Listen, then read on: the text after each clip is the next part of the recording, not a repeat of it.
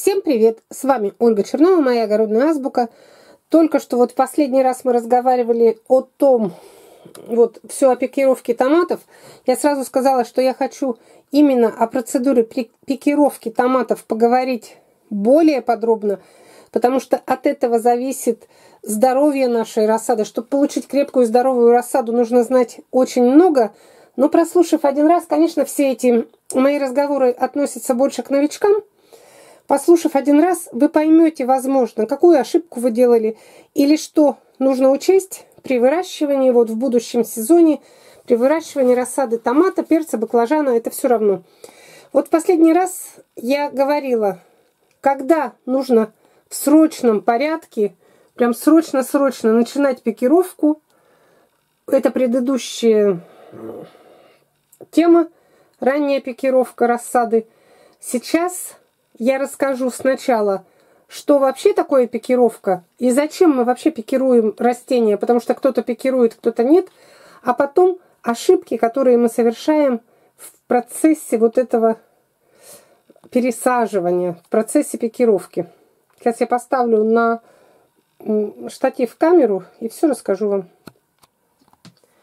Но сама по себе пикировка – это очень важная процедура при выращивании рассады делать ее или нет, пикировать или не, ее или, ну, заниматься пикированием, пикировкой или нет, решает каждый для себя сам. Но я сейчас хочу рассказать для тех, кто собирается делать пикировку, кто будет или уже есть сторонник пикировки. Вот я сторонник пикировки. Я расскажу, какое преимущество она дает. Но хочу сейчас сказать для новичков различия Пикировка вообще считается, это пересадка молодых вот таких вот посевов сеянцев из посевного лотка, куда мы семечки сеем, в другие тары, в более просторную. Или будут ли это вот такие вот отдельные стаканчики, или это будет другой лоток, просто с большим расстоянием. И тут вы должны знать, что пересаживаем растения, особенно томат, мы за время вот периода рассадного несколько раз, но пикировкой считается только та пересадка, которую мы делаем с повреждением земляного кома.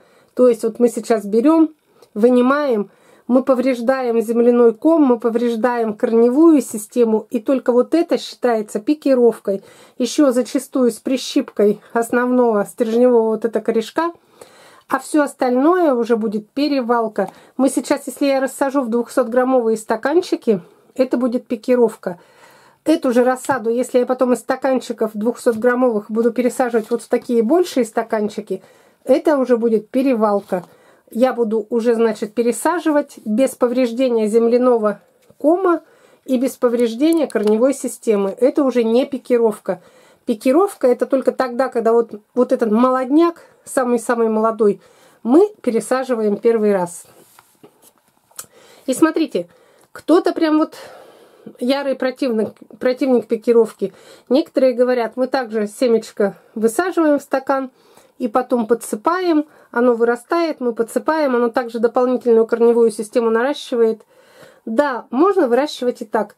Но это как? На вкус и цвет товарищей нет, и все всегда люди обязательно разделяются на две или несколько частей, каждый отстаивает свою, свой способ выращивания.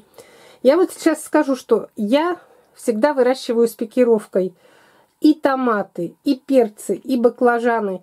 И самое главное преимущество, которое я нахожу в пикировке, это выбраковка слабых и недоразвитых растений. Когда мы даже вот так вот методом посева, как вот птиц кормим, высеваем, даже так можно томаты посеять для экономии времени. А потом когда будет один или два настоящих листа, мы их распекируем, можно слабенькие выбросить, а сильные взять. И когда я высаживаю даже поштучно, вот так, все равно вы, вы видите, ну знаете, наверное, что в ряду в одном никогда нет одинаковых, очень редко. Обычно какой-то посильнее, какой-то послабее. И вот при пикировке мы вот эти слабые, слабое звено мы не забираем. Мы их оставляем, ну, короче, берем только самых сильных. И вот в результате этой отбраковки получается самая здоровая, самая крепкая рассада, потому что вот такие толстые сеянцы получаются из самых здоровых семян. Ну и также пикировка у нас дает нам временное замедление вот развития вот этой рассады. То есть, если мы сейчас возьмем вот этот вот сеянец, вот так заглубим его в стаканчик, и, как я уже говорила в предыдущих видео, пока он будет наращивать вот эту корневую систему, листья развивать он не будет. Он отодвинет их на второй план. Весной это как палочка-выручалочка. Когда мы пикируем рассаду томатов, она взрослеть взрослеет, а вытягивает, вытягиваться не вытягивается. То есть мы немножко приостанавливаем развитие зеленой массы. Вот в данном случае томатов. Обычно все с томатами мы это проделываем. И потом, вот тут только что я говорила про корешки, да, после пикировки развивается дополнительная кор, ну, дополнительные корни, и вот это вот мощнее корневая система получается, чем та, которая просто бы они стояли. Ну, в принципе, ну, справедливости ради я скажу, что когда подсыпка идет, то тоже идет развитие корневой системы. И еще. Вот я всегда последним пунктом указываю вот эту экономию места.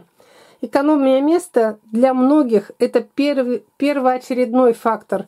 Вот когда мы при выращивании рассады через пикировку, не сразу вот в такие стаканы, на начальном этапе вот эту место под лампой, место под солнцем мы можем сильно сэкономить. То есть мы сначала сеем в лоток, Потом я еще раз пикирую в лоток с большим расстоянием, и пока они находятся в лотке, они занимают очень мало места. Потом, когда я их рассаживаю по стаканам, вот так, видите, вот в индивидуальную тару, это занимает очень много места, но в это время мы уже можем половину в теплицу выбросить их.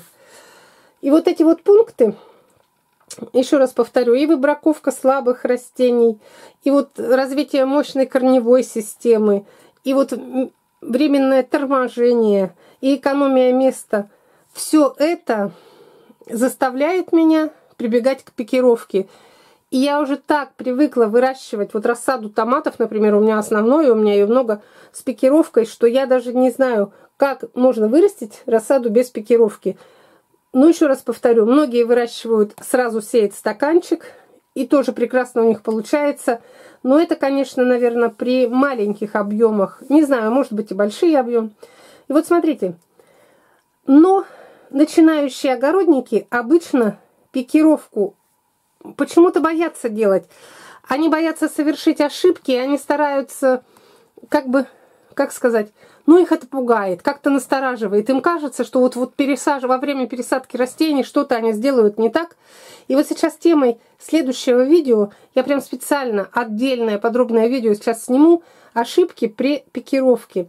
И назову самые главные ошибки, которые совершаются и во время пикировки, и после пикировки. Вы не поверите, может быть, даже некоторые из вас удивятся, кто не очень опытный огородник, но основные это ошибки. Сама процедура пикировки очень простая. Основные это ошибки люди совершают после того, как пересадили уже. Уже все, правильно пересадили, все. Но вот этот период адаптации, они не знают, какие условия им создать, и у них потом портится рассада, иногда погибает. Вот об этих ошибках я хочу сказать в первую очередь. Я сейчас назову по пунктам в этом видео, а в следующем видео каждый пункт отдельно расскажу, что вот самые главные ошибки после пикировки, это, ну скажу очень просто, не нужно обильно поливать рассаду после пикировки, не нужно держать рассаду после того, как вы рассадили в жарком помещении, это ей тоже не нравится. Потом не нужно выставлять вот эти распикированные сеянцы на прямые солнечные лучи, хотя бы первое время – не нужно подкармливать, пытаться рассаду, потому что первую неделю после пикировки рассада затормаживается в росте, и она будет стоять в одной паре. И некоторые особо заботливые огородники пытаются ее подкормить, и вот этими подкормками они делают еще хуже, короче. Потом, не нужно пикировать слишком рано, если вы не умеете работать вот с молодыми сеянцами в фазе двух семидолей, когда они совсем еще крошечные – Потом не, не нужно пикировать слишком поздно, если вы тоже неопытный огородник и мало еще, ну еще ни разу не пикировали, то лучше в стандартные, в такие в заявленные сроки один-два настоящих листа, потому что большие растения, чем больше растения, тем больше рвется у них корневая система, когда вы их начнете пикировать из общего горшка, и тем дольше у них период адаптации. Потом нужно не нужно пикировать в неподходящую тару. То есть это как раз то, о чем я говорила. Маленькому сеянцу, маленький стаканчик, потом лучше еще раз перевалить. И не нужно пикировать в некачественный грунт, который, ну, взят неизвестно откуда, и какого-то вторичного использования. Конечно, лучше пикировать в свежий, а, обеззараженный грунт. И если вот это вот все эти пункты вы сделаете правильно, то вот эта процедура пикировки, она покажется вам очень-очень-очень простой. И у вас тогда они хорошо приживутся, и они начнут у вас раньше плодоносить. Сначала они дадут вам здоровую крепкую рассаду, а потом дадут здоровый урожай. Все, сейчас я вот выключу камеру, и следующий видеоролик будет посвящен только ошибкам при пикировке и после пикировки. Но теперь вы знаете, даже тот, кто ни разу не пересаживал томаты, теперь вы знаете, что пикировка это именно пересаживание, рассаживание вот этих маленьких-маленьких сеянцев с первого, с первого, с первой тары, вот после посева, с посевочного, короче, лоточка по отдельным стаканчикам. И пикировка это именно с повреждением земляного кома, с повреждением корешков. Вот это пикировка. Все остальное уже у нас дальше будет перевалка. Все, до свидания.